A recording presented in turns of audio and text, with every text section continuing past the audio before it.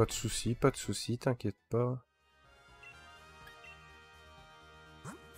Ah, Oniglali, il est shiny. Et lui, tu l'appellerais comment, du coup?